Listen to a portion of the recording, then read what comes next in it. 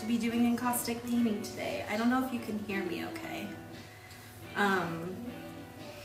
Encaustic painting is an interesting painting technique. It's one of the oldest forms. You're going to be turning raw um, beeswax into a medium, it's your binder, and you have some raw pigment added together with some heat, and you have a painting. So I kind of set up a big, uh, like a little still life here, and this is gonna be a little complicated because you only have one shot at looking at me.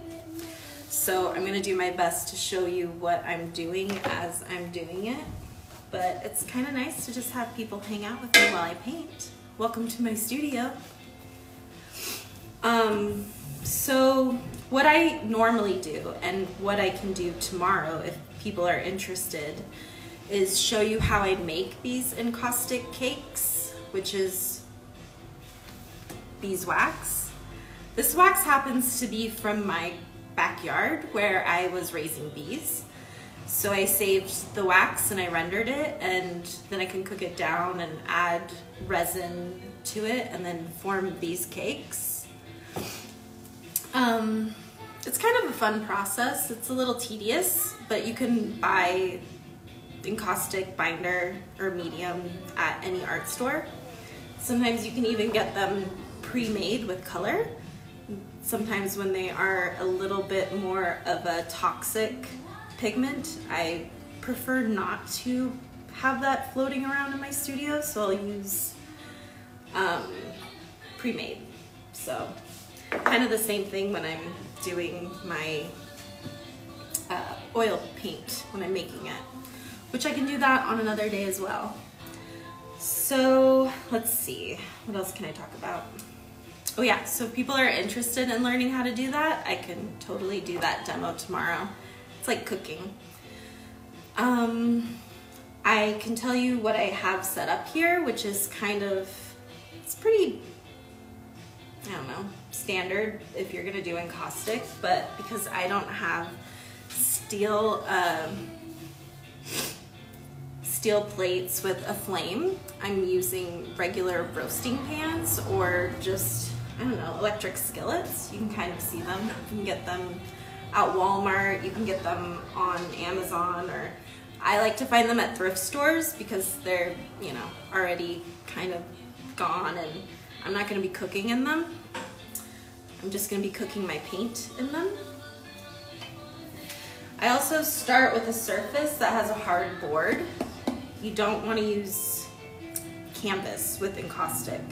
You could, but it's a flexible surface. And when you have flexible surfaces, you can see how um, brittle this is. I can come close and like show you. This is this is uh, the encaustic with pigment and it's just really brittle. You can kind of see. So if you have a flexible surface, it could crack. So you always want to use a hard surface. You can use paper, but then you want to bind it to something or seal it down. So what I do is I use masonite. You can use aluminum if you wanted to, but you just have to have something like an absorbent ground. I These are made with chalk gesso, like handmade gesso. So I use rabbit skin glue and chalk with a little bit of titanium white in it. This one I did not use titanium white in and you can see how it yellows. I don't know if that's any, you can see the difference in the color there. Um, this is what it looks like un, without supports. This has supports. And I always tape the edges too, just to keep it clean so that it is not stuck to the wood when I want to take it off and it's just easy to basically put on the wall right afterwards. So that's just about the surfaces. Um, what I also like to do, instead of just start with a blank white surface, I like to kind of use up whatever muddy encaustic was there from the last time I painted and I work into it to kind of make a ground essentially. Um, something that will come through in the painting underneath, but also something that just makes it thicker. This is like an impasto form of painting. I'm sure everybody has seen those Roman and Egyptian sarcophagus paintings that if you have been to the Met or something and you first walk into the Egyptian room, there's these, pretty sure they're Roman um, portraits and they're made of encaustic and this stuff lasts forever. It has resin and beeswax in it. It's not going anywhere. So it's pretty cool, but they are very fragile. So they have, they're very heat sensitive. I'm cooking with heat here. I'm painting with heat. So as soon as I dip my brush into this, my palette, which is my electric skillet, um, it starts to dry as soon as I put it on my surface. So it's a little frustrating, especially if you want to do something representational, which is what we're going to do today. Um, so I started this because it's a little tedious. You could use a bigger brush, but again, because everything dries so fast, I like to use a smaller brush. And I'm just showing you how I do this. I'm not necessarily going to use this surface to paint my still life today because it's pretty big. Um, I think most people that do encaustics do abstract paintings in them or will use it for like much smaller pieces. They might even put it on a hot plate itself. There's everybody has their own way of doing things. This is this is my way. Does anybody have any questions? Any questions?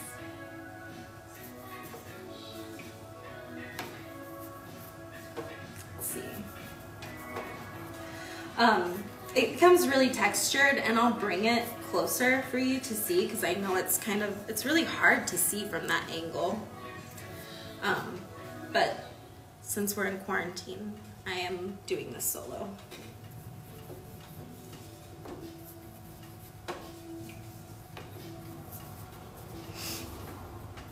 I don't have a Bob Ross setup. That would be pretty cool, but I don't.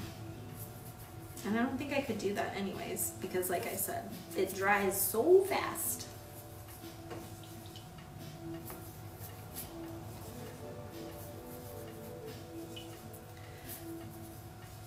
Um, I'll show you the texture that happens here. And then I usually use a heat gun to kind of smooth it out because everything else that goes on top um, I don't want the texture underneath to inform how I'm drawing. So I'll show you how that goes.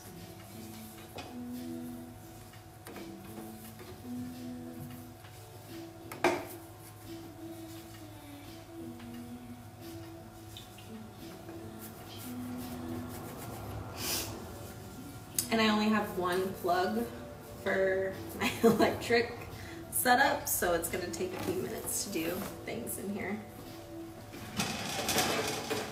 Unplugging that one so I don't blow a fuse. Plugging in my heat gun.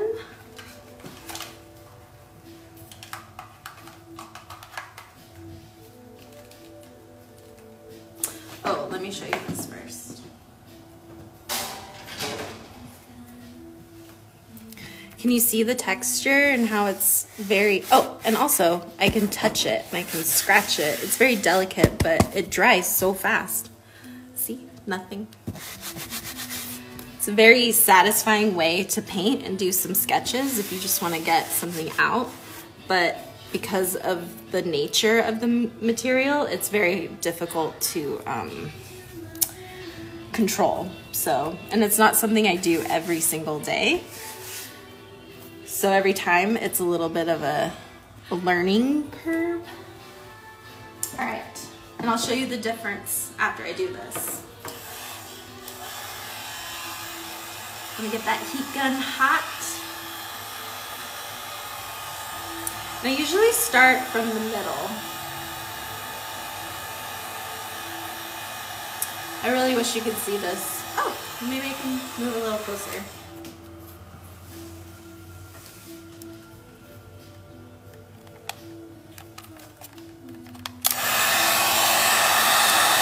You want to keep it very level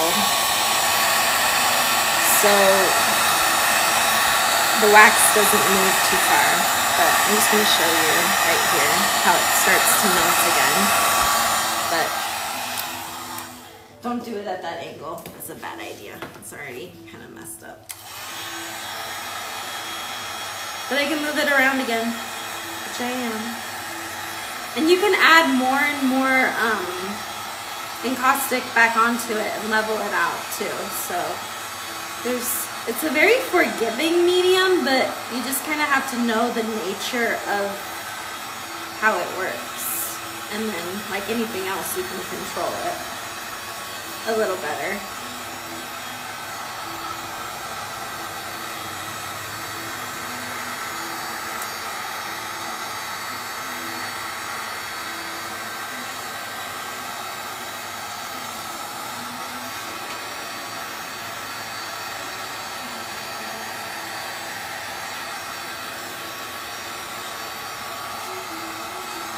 Sometimes there's gonna be pockets, like uh, little air pockets in here, but you can kind of go back over it again and yeah, it'll smooth out.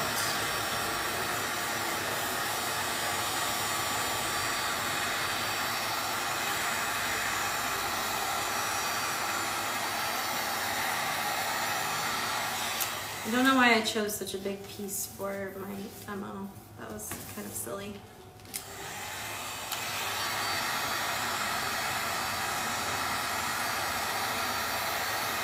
I do have a really hard time painting small.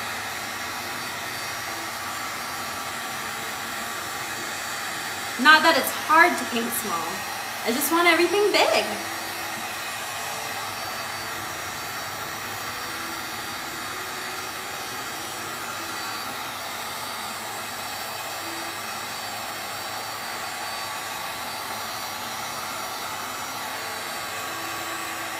All right, It's getting there. It's getting there.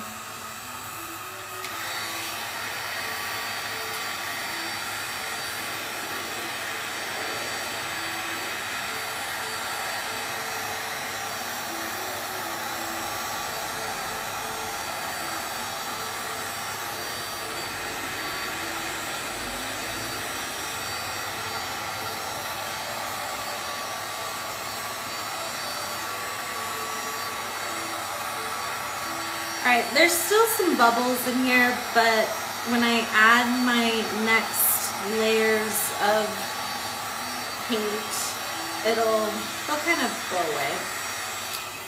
And you can always take this back into it and um, smooth it out. So before my brushes get too solid in that, I'm going to move it over here and add few more brushes. Oh, and I should talk about brushes with you guys. Do you ever have those brushes in your, um, I don't know, you just like keep them around, but you know that you can't use them anymore for acrylic or oil? Usually oil. You don't want to put anything that has plastic into your, hi Robert, um, into encaustic because remember this is heat and it's all natural materials and acrylic is plastic so um, any brush that you had left over that has no plastic in it and is like natural um, you can use for this but the ones that are kind of crappy and you want to get rid of you can put them into the graveyard of encaustic brushes. Because once they're used for encaustic, there's no going back.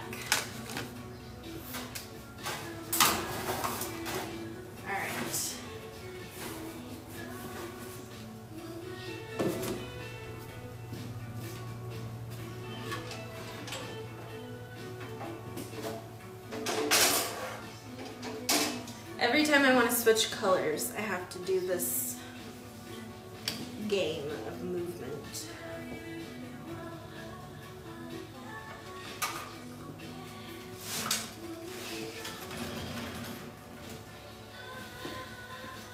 I'm using like three different hot plates, so I have different palettes.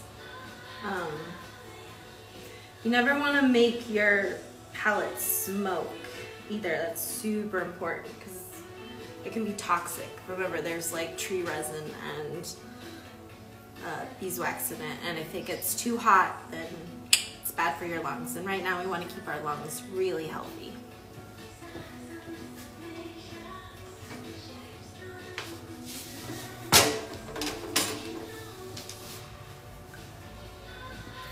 All right, so I have, let me show you what it looks like after I smoothed it out.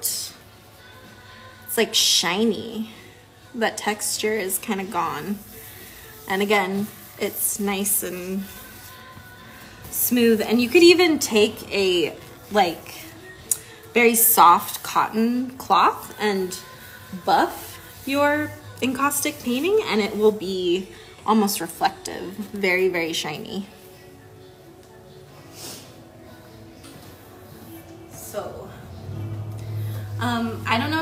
See that I have this set up here. Yeah, I think you can. But you don't see it from my vantage point, which has a jawbone, a pig's jawbone, a rock. It's a very beautiful rock that feels very much like an ultramarine, like it was to be ground up, but it's not because that's not a real, or it's not a natural pigment. And then flowers from my garden that I picked today that I thought would be really nice in this setup. And something that I tend to do, I don't necessarily like to paint um, exactly what I see. I like to embellish or leave certain things out or put certain things in. It's just doesn't have to be so literal, you know? Um, so I have my paint getting hot on this palette that has more vibrant colors. And I'm going to use thinner or smaller brushes.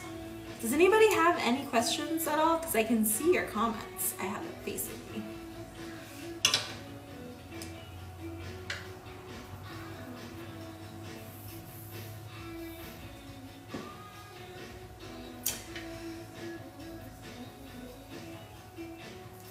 looking for something to elevate my um, skillet because it has a fat dripper in it, this thing, and my wax will sometimes fall into it. Oh shoot, it's smoking.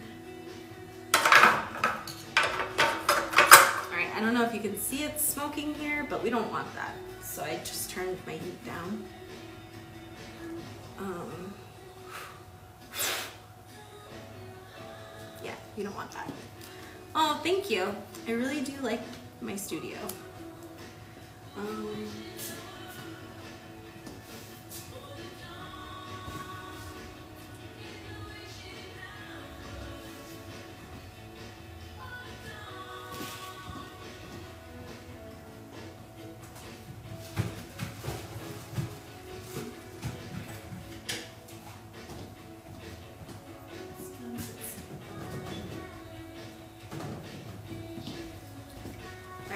still here. we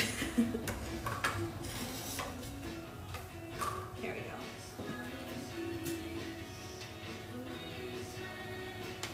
All right. So yeah, that's starting to smoke, but Well, normally I use for a larger painting or I would say um, paintings on canvas, I do use oil and acrylic.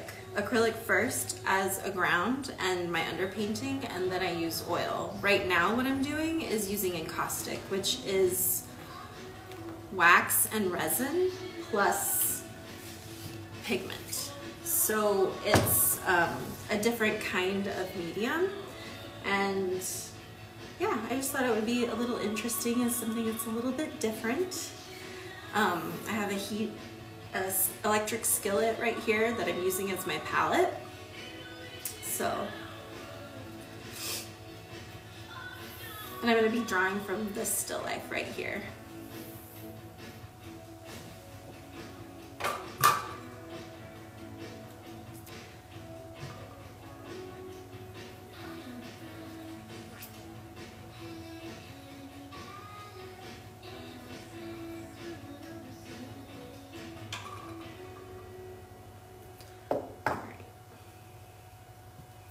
Guys want me to move the camera, let me know because I can move it over so you can see a little bit closer to what I'm doing, but I sort of like how there's a bigger um, vantage point right now. Again, this is kind of crazy because it dries so fast that I have to figure out how to do this, like figure out where my body position is to the palette. Um, especially as an oil painter, you get so used to things drying like very, very slowly. And this dries very, very fast.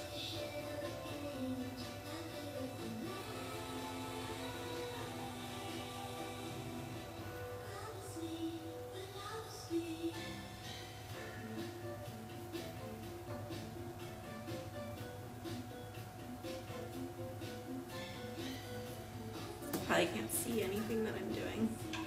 Let me move it. This technique that I'm doing right now is encaustic painting.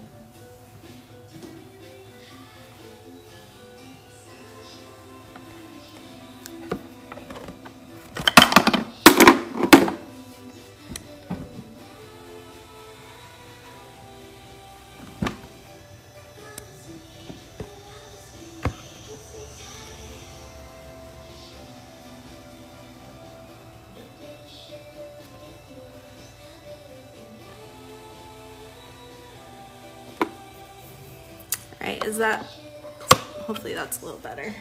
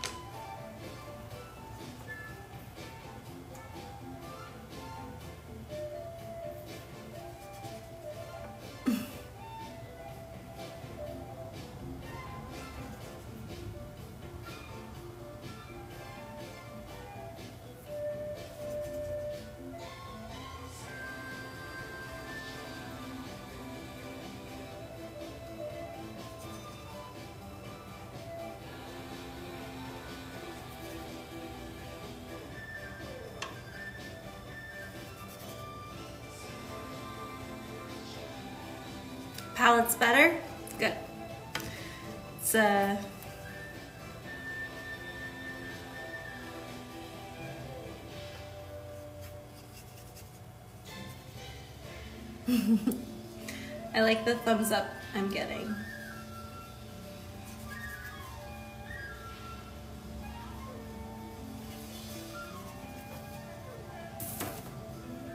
So you can kind of see how this melts too.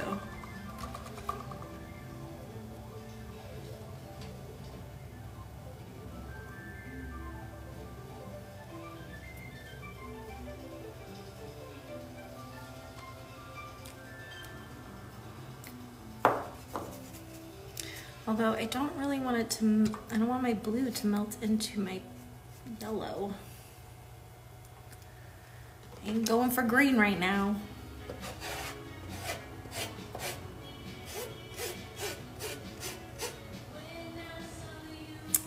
I guess I'm getting green.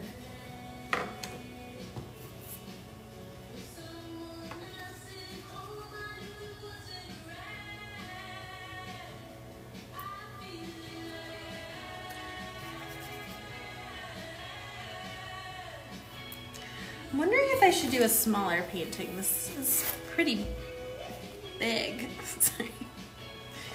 um, maybe I will. Because this is a live thing and you guys don't want to be hanging out with me for like two hours. So, um, although I can always just post the finished painting afterwards. Just gonna do the bouquet, which is this. That should be fun.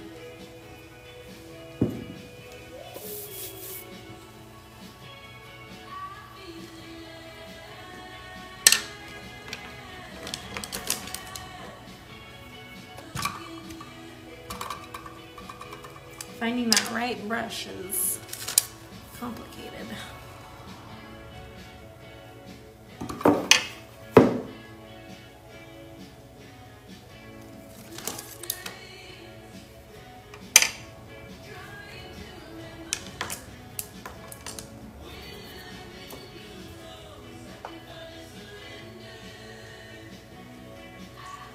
You see this, how it's melting? Isn't that satisfying? Let me get my camera over here, or my light over here.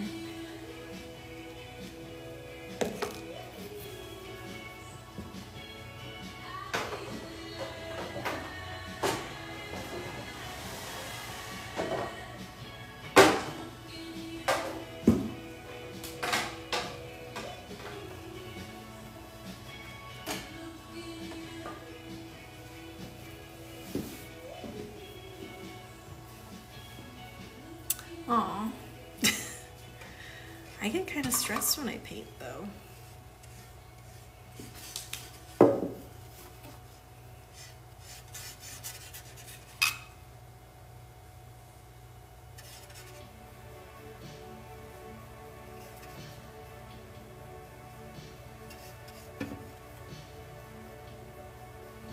Mm, I decided I do not like where I just put that. So guess what I'm gonna do? I'm gonna erase it.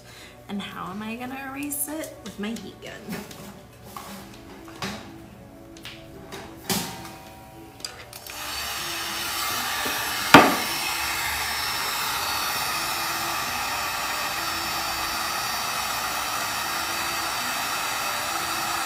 This is a different canvas that I already had, um, or surface that I already had prepared. Just in case you were wondering.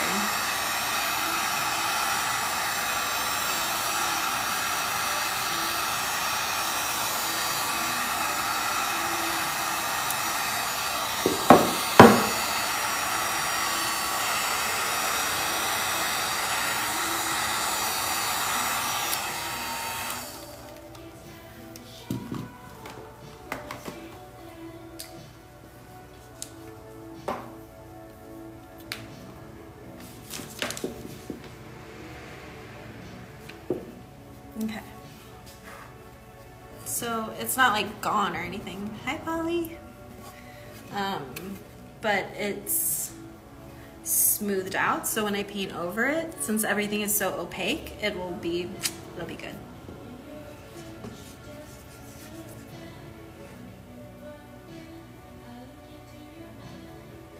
Since I want this picture to be mostly about the flowers, I was like, oh yeah, I don't need this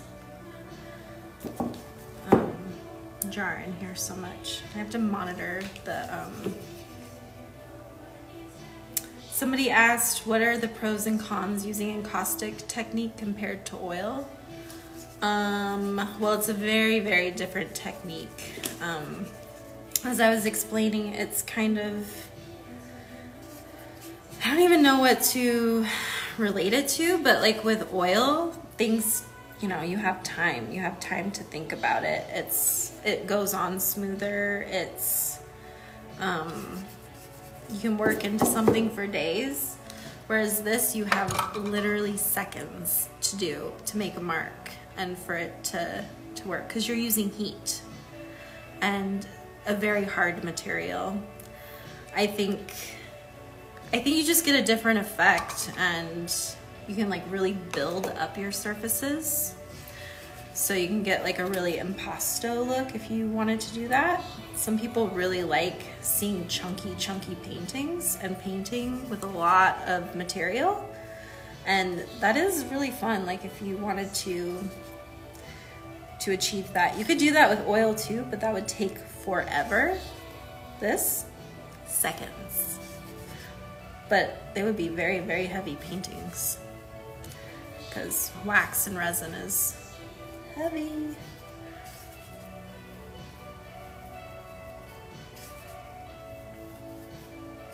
I personally just, re I really do love the texture that forms with this and how it teaches me to have immediate decision making, which sometimes I, I take forever to, to make um, an oil painting and it's, it gets a little frustrating.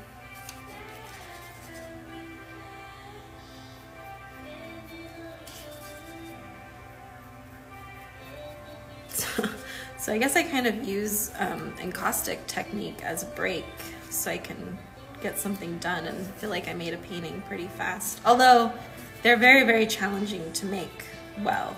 I don't want to make it sound like they're easy.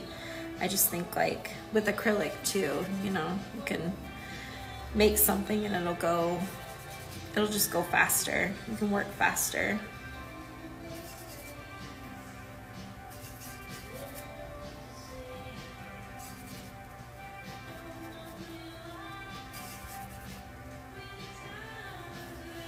Hey everyone who's just joining. Um, I am working in encaustic, so not um, oil, just uh, wax cakes that I've made, which has beeswax and tree resin in it. Um, and I cook that down and then I put them in little cupcake tins and I let them go into the refrigerator over time and they just pop out and I can use them for melting directly onto my electric skillet and I mix raw pigment into it. You could do oil, but I've never done that before and it seems a little weird to put linseed oil directly on something hot, so I just avoid that. I do put a little bit of varn, like I think a little, I forgot what my exact recipe was. I haven't made these in so long. Um, but again, if you guys are interested in learning how to do that, I'm happy to do a demo tomorrow. I have my recipes like in the corner and I can, I can do that for us. Uh, let's see. What is I doing? This is really hard to multitask like this. um, okay.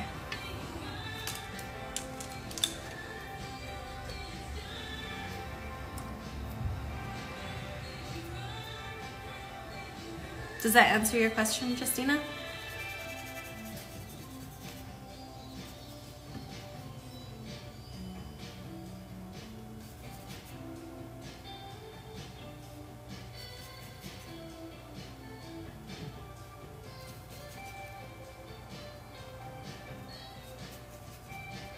Yeah, if any of you are familiar with how I work, it takes me a long time to make painting. I'm sure it takes a lot of people a while.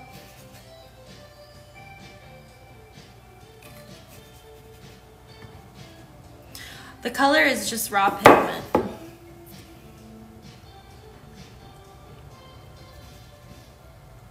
It's a really, really cool process. Um, very satisfying.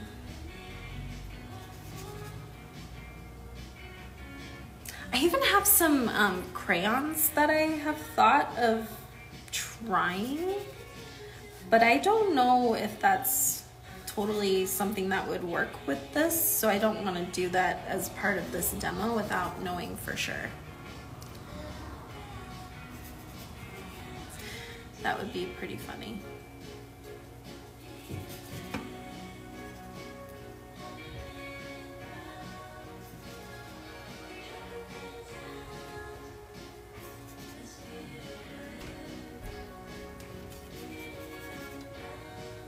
Professor Valdez. I'm responding to somebody's um, comment, not just yelling out Professor Valdez. just so you know. Oh yeah, you can you can do monotypes on a hot plate with crayons. You can, for sure. I just mean painting directly onto the surface with what medium I have. I just don't know if the crayons would mix well with my um, binder.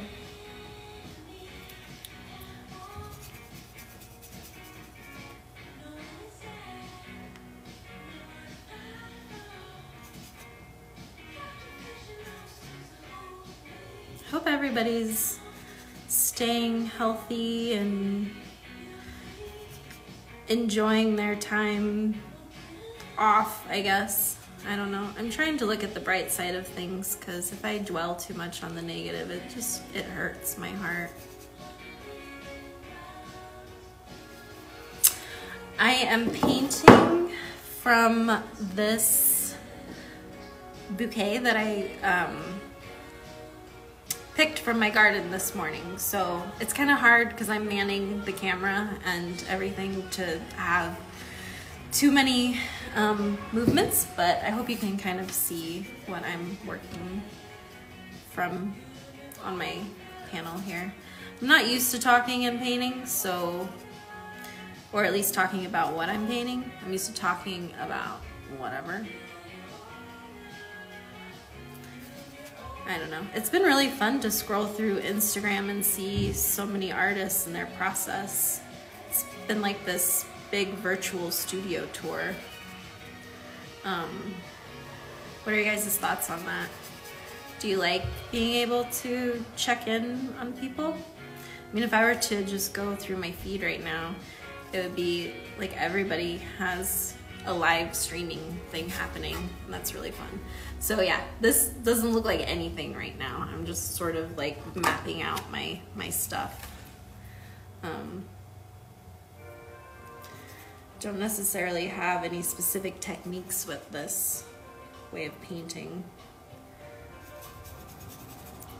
I just kind of go with what works or what looks good.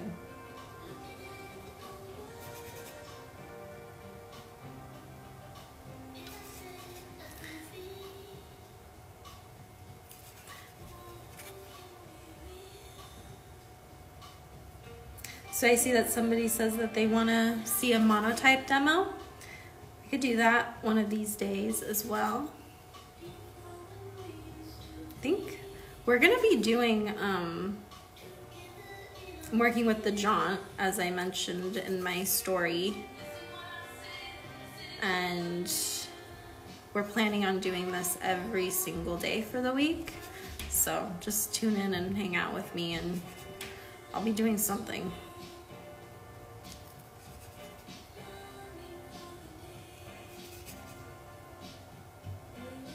And don't forget, you guys could order a print, like you can pre-order a print um, from the Jaunt, which will have my artwork uh, from this time period.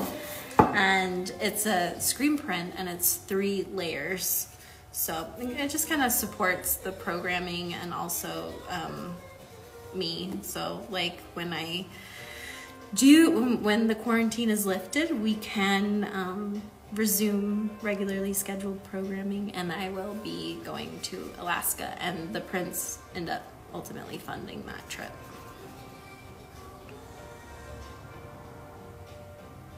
I'm, I'm reading some of the um, comments.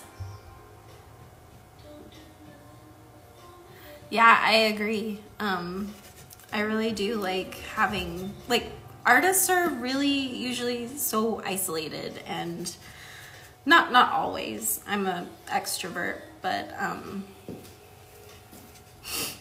it's it's just nice to be able to be into everybody's studio without you know scheduling a, a visit or something.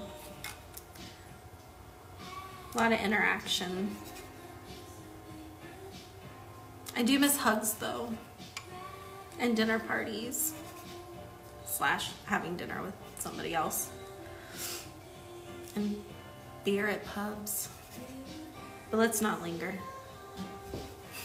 Bianca.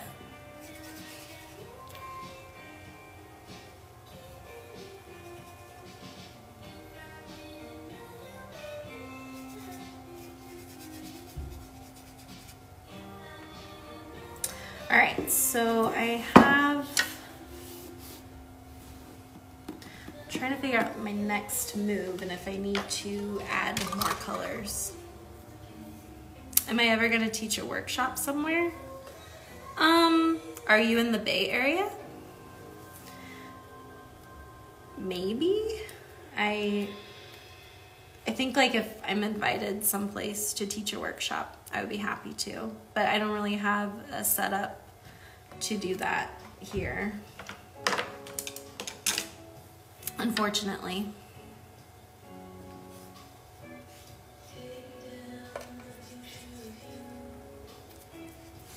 All right, now I'm trying to, I have these beautiful sweet peas from my garden and I'm trying to figure out the right color for it. I think I got it.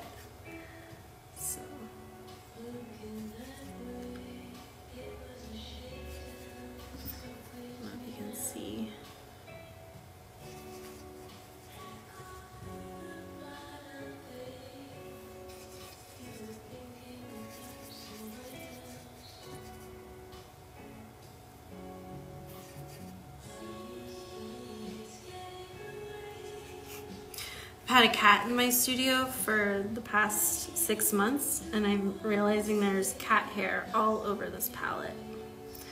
It's kind of funny. I don't hate that. So I'm getting a question from Bianca as to where I got the beeswax to make this uh, medium and as I mentioned earlier, but I don't think you were there, it was uh, from my backyard, from my bees. And Bianca has helped me do beekeeping, so good question.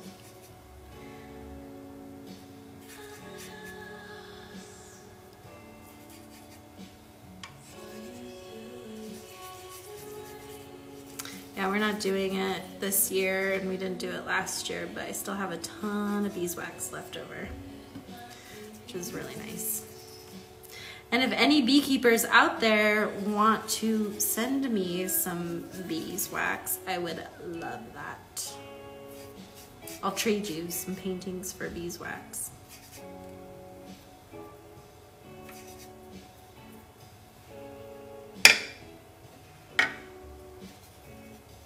Hi, Leticia.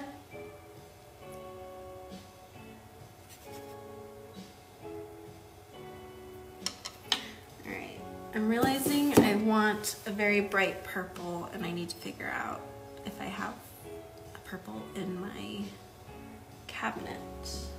Oh wait, I do. Okay, so when dealing with encaustics and any kind of, I should say, any kind of pigment, raw pigment, now that you guys all have masks out there, you want to use them. They're so annoying to put on, aren't they?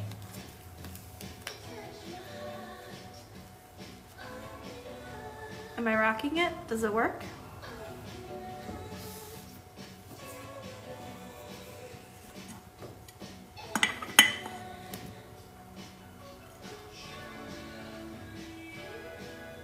Probably way too much purple. But it's good not to breathe in stuff like that, so.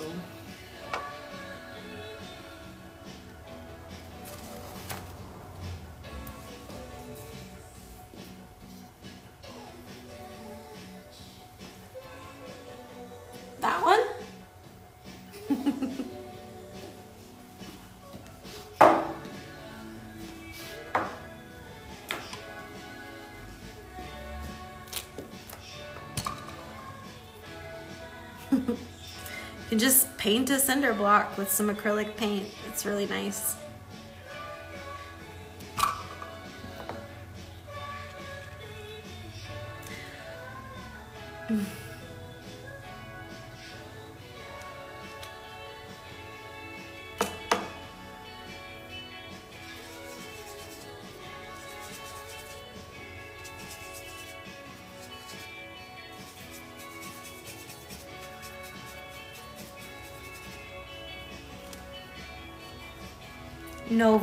Nova. Paint is my favorite kind of acrylic paint.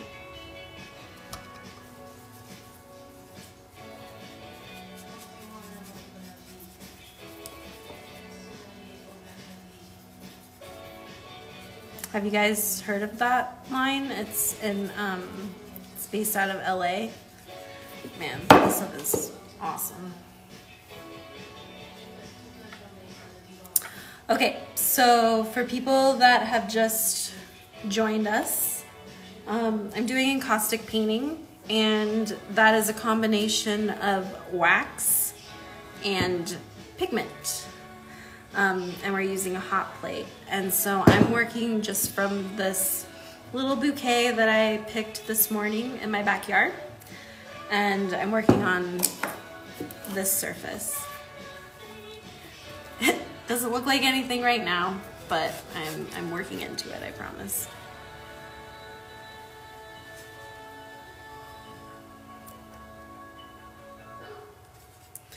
And my colors are gonna be much more dull because I'm working with, like, I mean, you can see my palette. It has colors everywhere. They're not, you know, straight out of the tube. They're all mixed.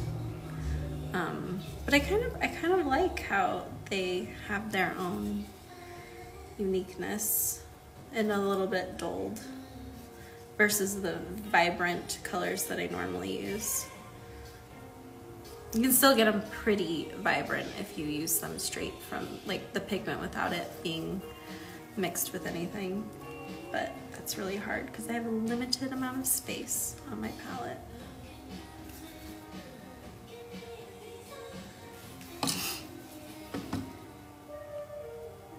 A lot of purple in my garden today. It's been raining here and it's also been sunny like every other day. So there's quite a bit of um, things growing finally.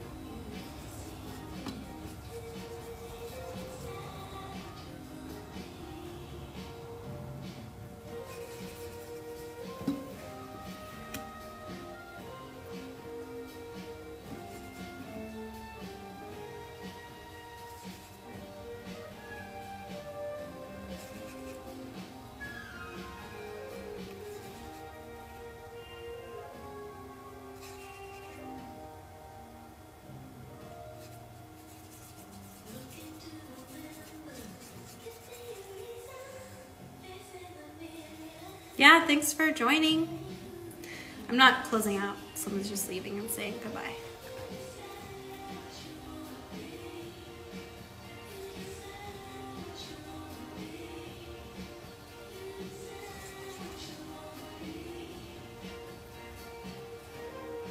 I'll um, end up posting the finished painting if we if I don't finish it in this um, session. I'm trying to paint as fast as I possibly can, I promise. Um, somebody just asked me what kind of brushes I use. And so what I use is leftover, like kind of garbage uh, brushes from my oil painting. Um, anything that's not plastic, I use because it's hitting heat and you don't want it to melt. Um, but they're kind of the ones that you would normally just toss, but you don't have to because you can use them for encaustic. Because once they're used for encaustic, they're destroyed. Oh, can you see that? Is it? I don't know. It's only focusing on me.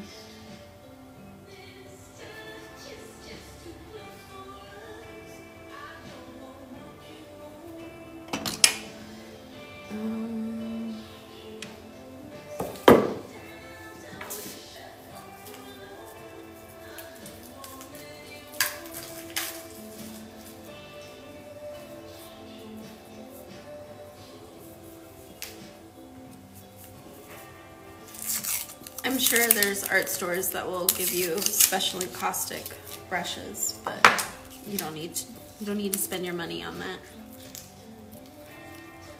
You can use any kind of brush that is natural. Hey!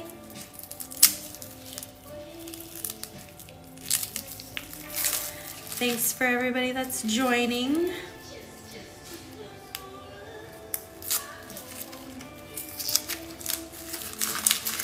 Do sometimes buy pre-made um, colors just because I can never seem to get that color right from the raw pigment without using really, really toxic chemicals like cadmiums.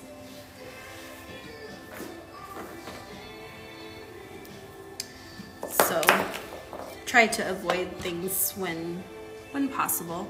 You don't need to do that. They're also incredibly expensive. So I use them very sparingly.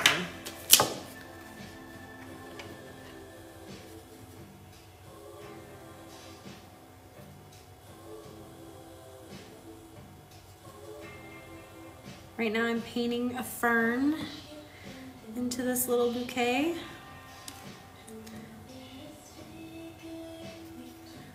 Trying to figure out how to do this in encaustic is always a challenge. And it you know sometimes I'm really feeling it and I can like knock out a really nice painting in one sitting. Other times I just really need like more time to work back into it. It does like hurt my neck because I'm just like looking down a lot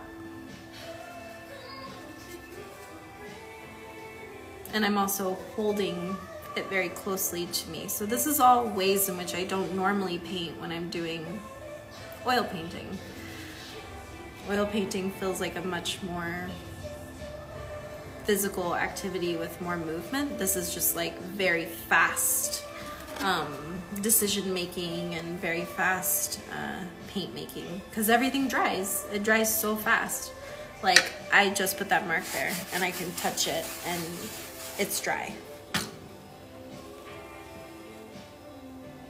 Temperature painting.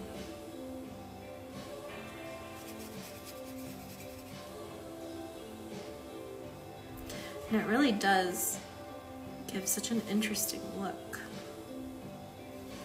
Um, somebody asked what my favorite plants are to paint. Um, honestly, I really love just painting whatever I can find in my garden. I think that's my favorite thing to do because it's happening here now. It's the colors of that are blooming that day. But when that's not possible, um, I don't know. I, I like really big leafy green plants that I can give some sort of character to, or like represent their character. They're just really fun.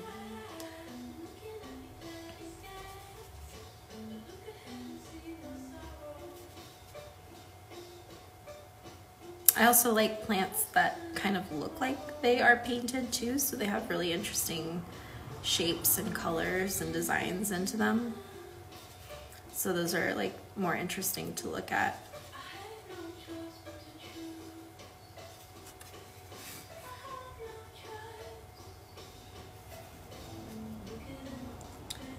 You guys can, I hope this is entertaining and not too boring.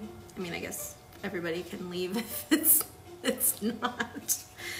But I'm trying to, to figure out how to show you this painting as I'm making it without it just being me. So you see where it's going?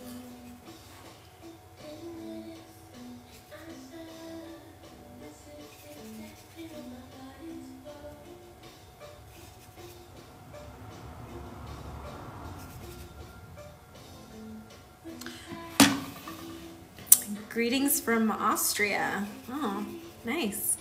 Greetings.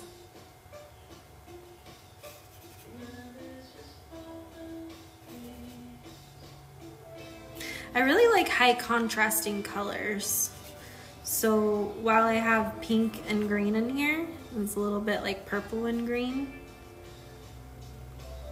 I think I really want this painting to have tooth and just like be very impasto. So I'm going to not smooth things out. I'm just gonna kind of work into stuff and it's gonna be really fat. A fat painting.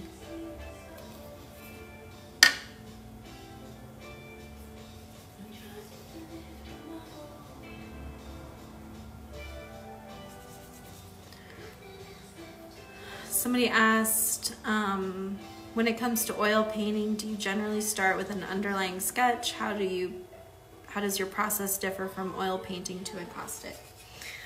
Ooh, good question. Um, I do do an underlying sketch for my oil paintings, which means I will start from a sketch that I do in my sketchbook and then I'll look at that and I'll draw from it and draw from my still life setup. I tend to work kind of from observation.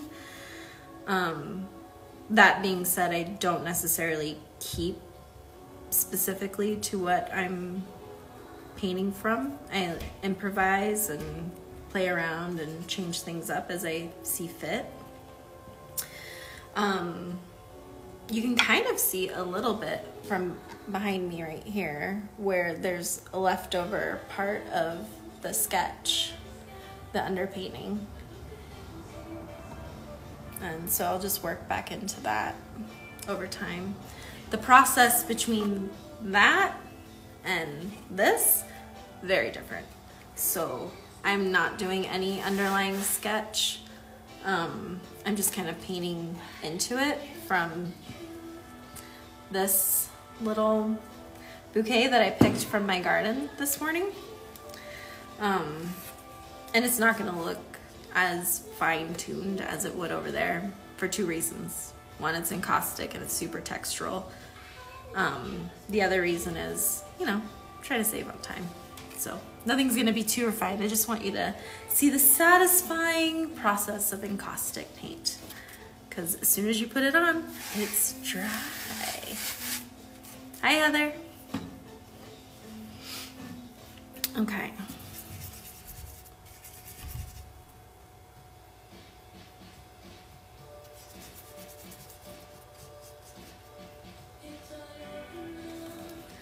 Yeah. So working back into more sweet peas in here.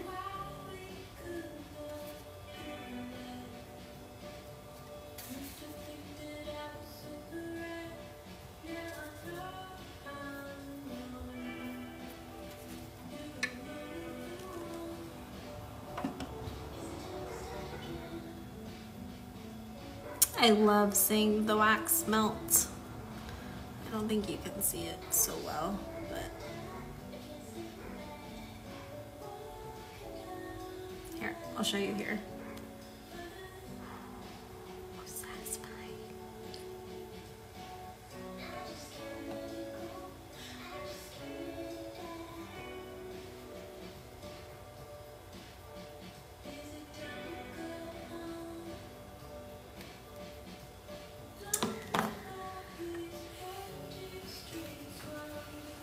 Does anybody have any other questions?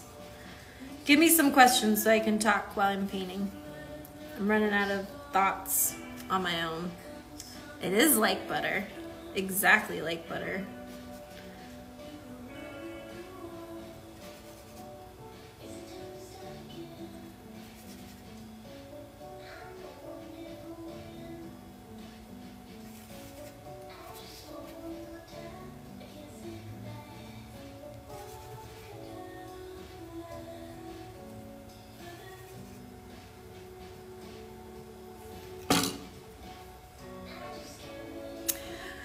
Good question, Heather. I am painting from a still life. I'm painting from a little bouquet that I... All right, I got disconnected, so I'm back. I guess I ran out of time. I went for too long.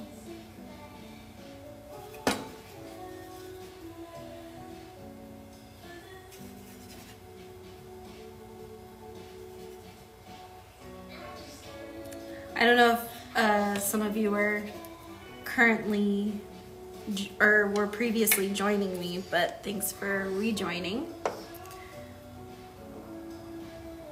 I'm still working on the same piece.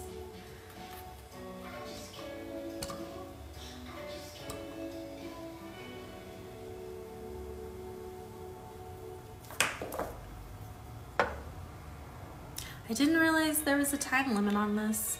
That makes sense.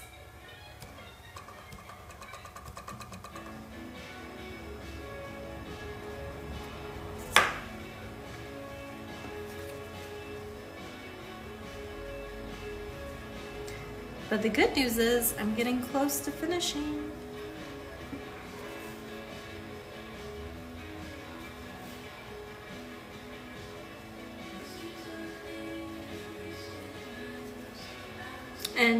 Would love to post a photo of my finished piece on my feed tomorrow so everybody can see that and what it looks like when it's done.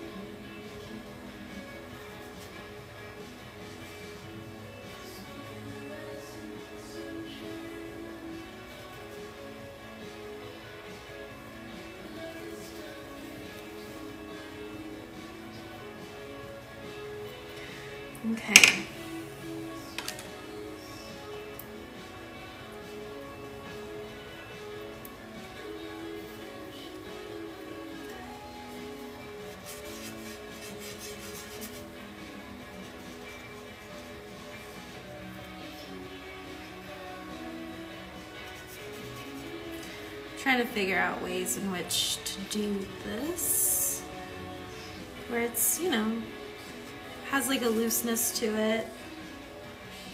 Not too, um, not too loose because I like a little bit of um, definition in my work.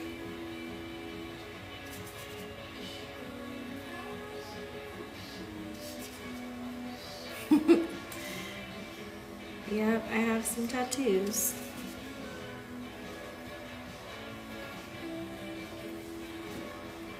Oh, thank you. Thanks for uh, the compliments, guys.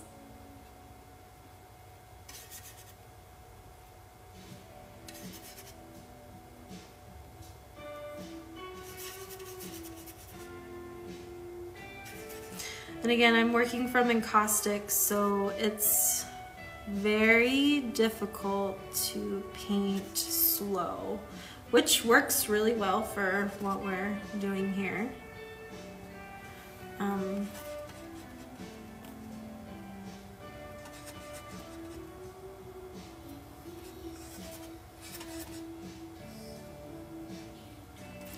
be painting these nasturtiums. Does anybody else have nasturtiums growing in their backyard? Because they are so fun to paint and to see just popping up and going, like climbing and being all viney like they are. You know that you can eat them, right? Like they're really good in salads. Um, sometimes just to be fancy, I put them into my water.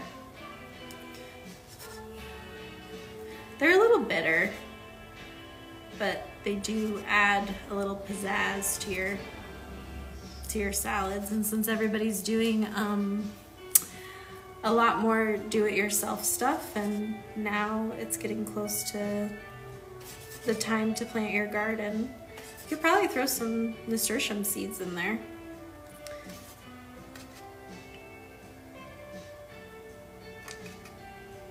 And they come back every year. I always think of them as this little gift from my garden.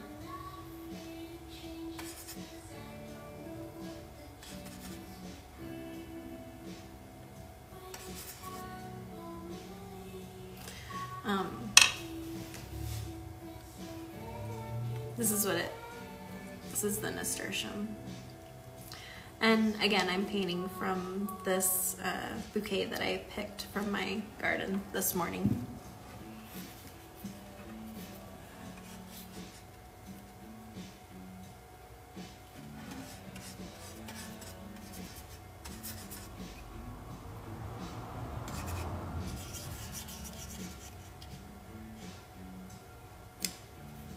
I'm listening to the tops, or tops.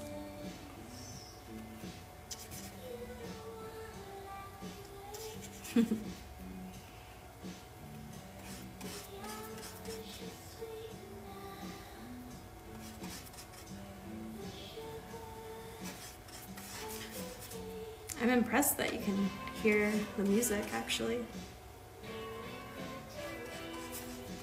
Yeah, no problem.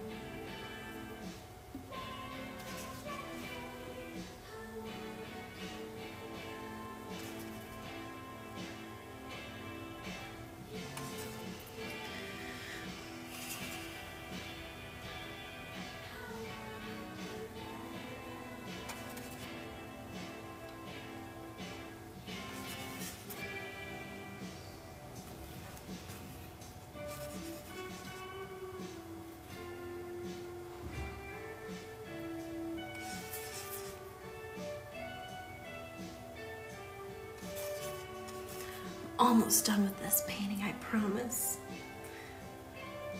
But seriously, this is pretty fast painting for the amount of material that is on my surface here. And I'll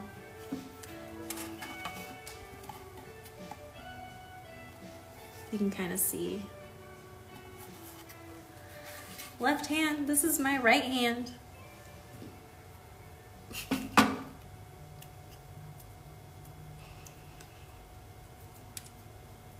I just wax on my hand now, so you got to be careful about that with encaustic because you don't want to burn yourself.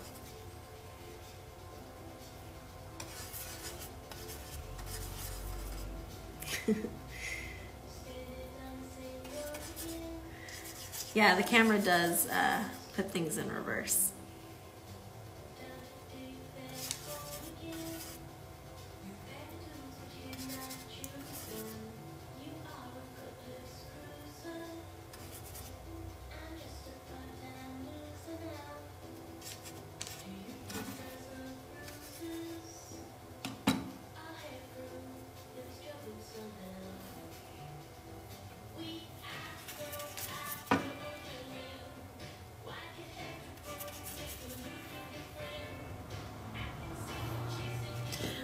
See if I can show you exactly how this is going on.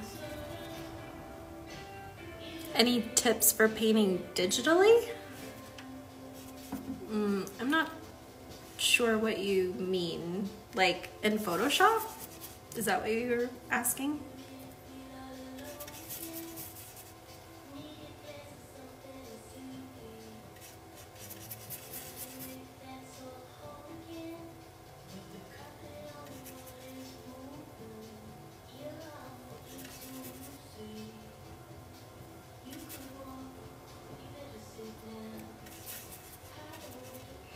I do I fuse this paint with heat? Yeah, I'm painting off of a um, electric skillet right now. So I put the wax cake that has beeswax and resin in it. And then, and a little bit of um, some kind of terp, like it's a very special terp. And then I add pigment and then I have my palette here. So my palette is hot.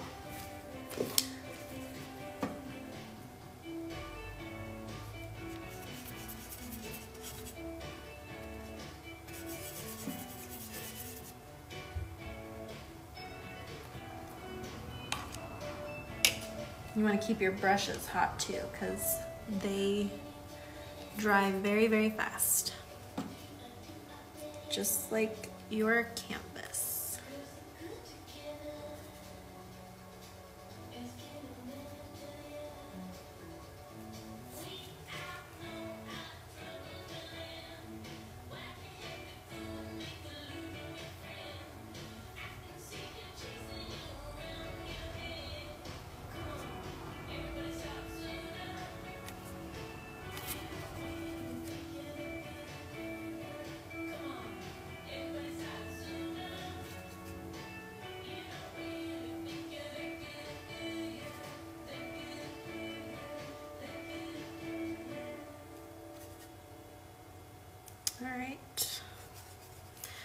Getting close.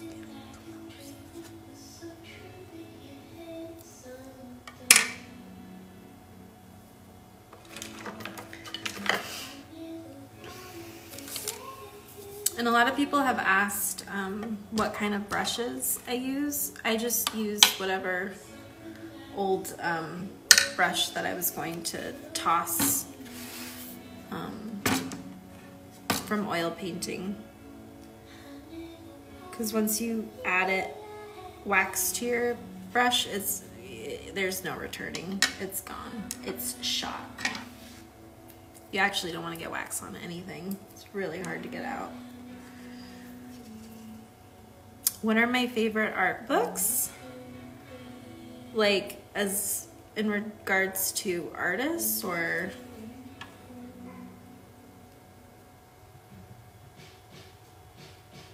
I've really been into like botanical drawings lately, like academic botanical drawings as art books.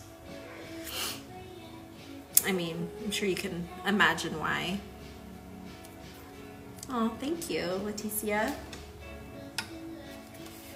Yeah, so it's it's forming into something. It's not necessarily like a masterpiece, but you know, have about I don't know, 30 minutes worth of work here. And look, you can touch it. Isn't that so exciting? Um, let's see. I have a whole stack of books out right now that are going into the painting behind me. This here. Um, and let me uh, tell you what they are. So I have a Frida bio a Sylvia Plimack Mangold painting, a Laurie Anderson book, Faith Ringgold, Lois Dodd, Jennifer Bartlett, um, Jane Freilicher, Agnes Pelton, Grandma Moses, uh, Elizabeth Blackadder, Joan Brown, Mamma Andersson, and Georgia O'Keeffe. So that's what I'm working from for, for that right now. Kind of see.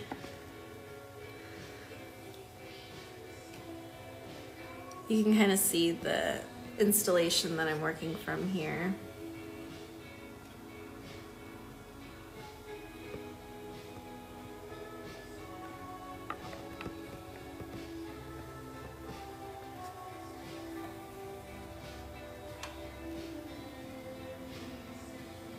That was a uh, quite, all right, I really hope this thing doesn't fall.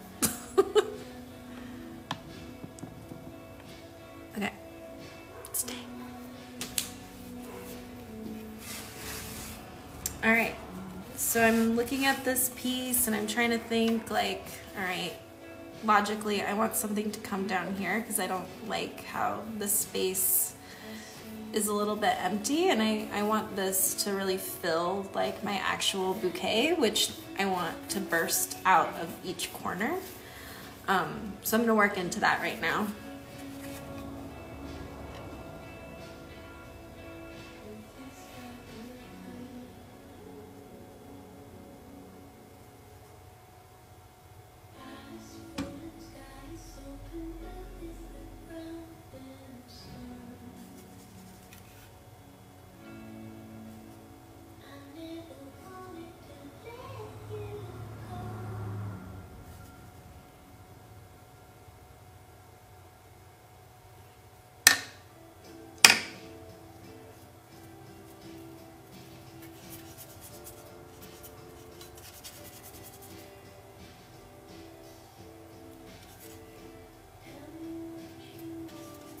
Yeah, I'm really excited to finish that painting behind me. I've had it in the works for uh, three months now.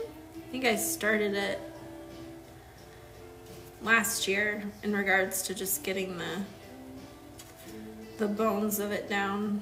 It's 82 by 80 something. I don't know, but it's a lot. And there's a lot of information in it, which I'm excited about. I really like that. But again, time commitment. Whereas this little painting right here is dries in an instant.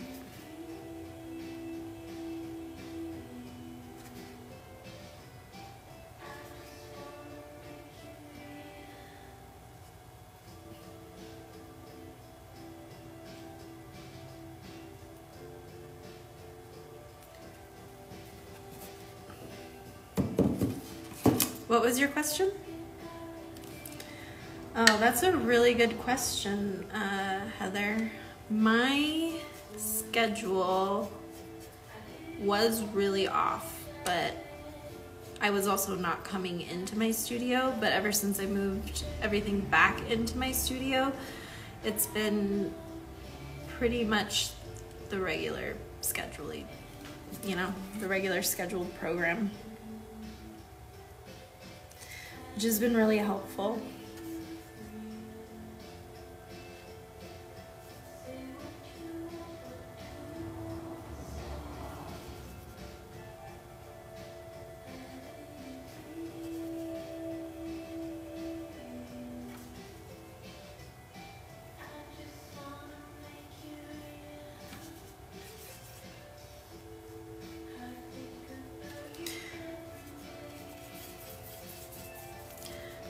Think of how I want, well, looks like I need more blue.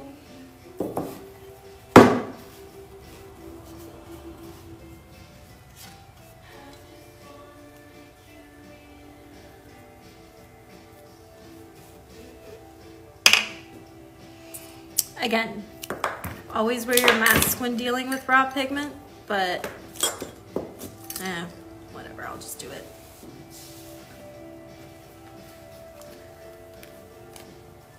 You don't want the dust floating.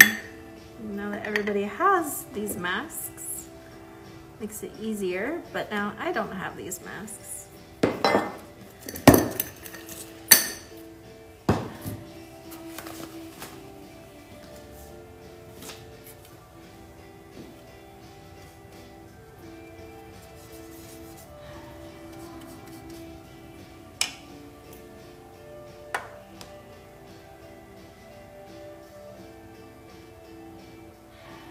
For those of you just joining, I am working on an encaustic painting in my studio live using a hot plate, raw pigment, and a still life setup.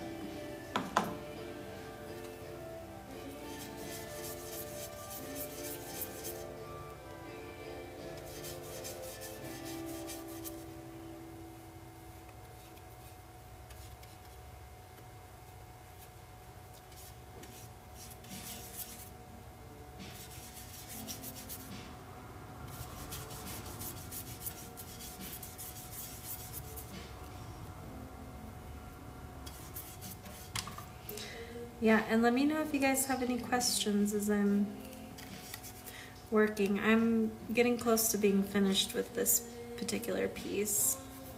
And I would love any suggestions of things that you guys would like to see me work on this week since I'll be doing live streaming every day. Um, kind of a nice way to hang out with people without hanging out with people. Where am I from? I'm in Oakland, California, in the States.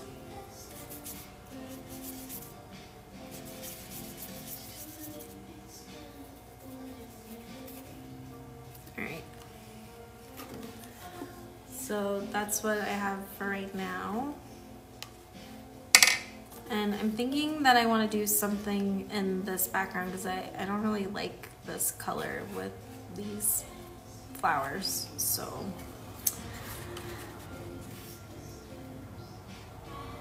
like, do I want to do black?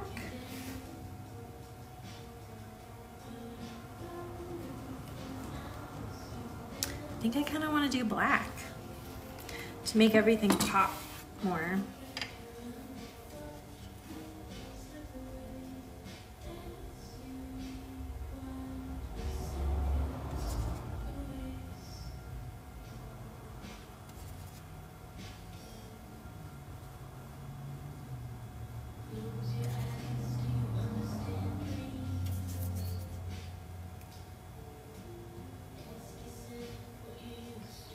Thanks, Leticia. Thanks for joining in.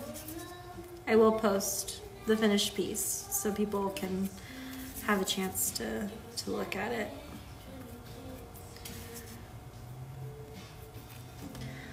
I'm hoping you guys can kind of see the texture that's happening here. Like you can see the how it's raised and you kind of hear it.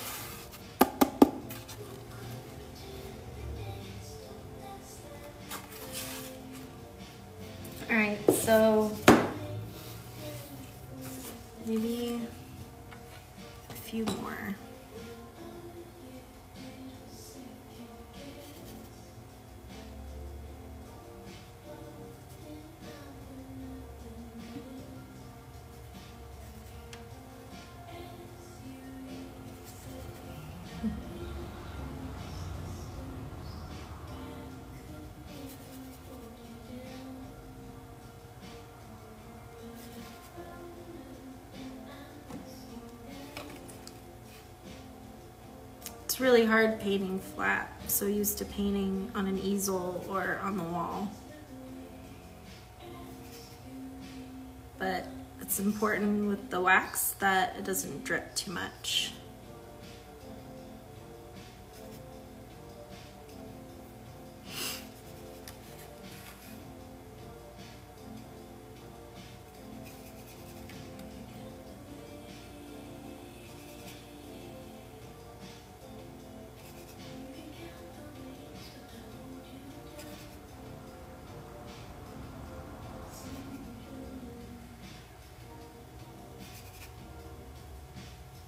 And again, the wax just really dries pretty much on reception on the surface.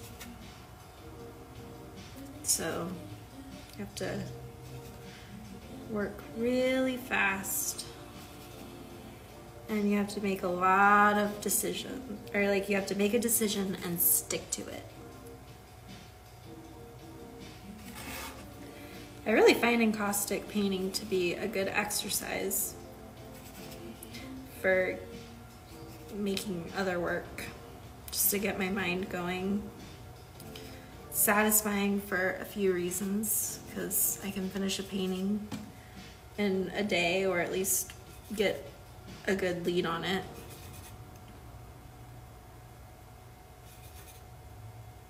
You don't have to worry about that drying time, you know?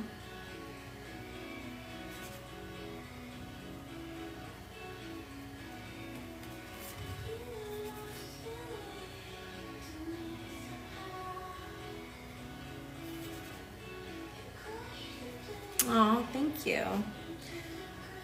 I saw some greetings from Chile.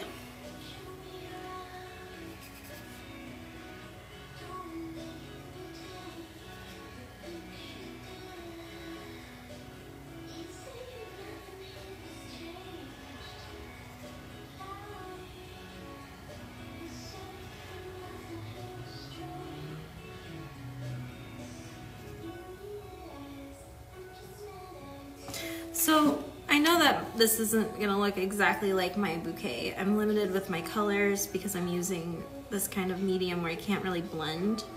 And I also don't have like a ton of specific pigments.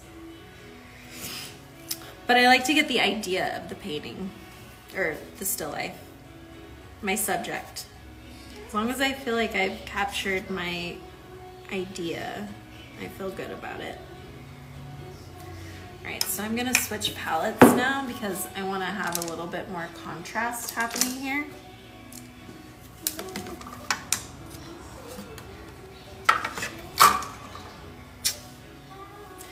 Well, I just made an error, so now this is a encaustic brush.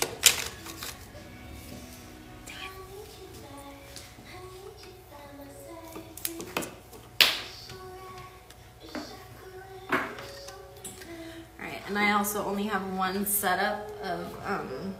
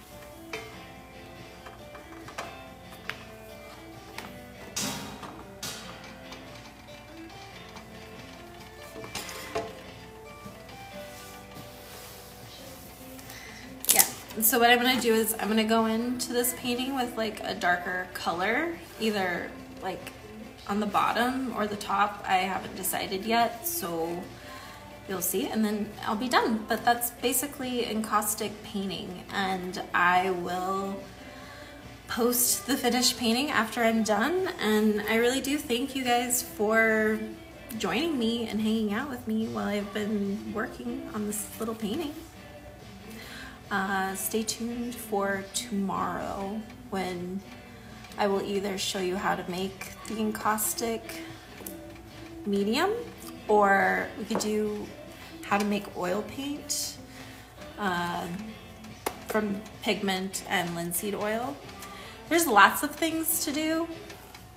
Just let me know what you would like to see or um, yeah, I don't know. We'll figure it out as we go. There's lots of time right now. Uh, does anybody have any other questions before I sign out? And if you do, just feel free to uh, send me a direct message and I'll get back to you as soon as I can. Okay? Thanks, guys.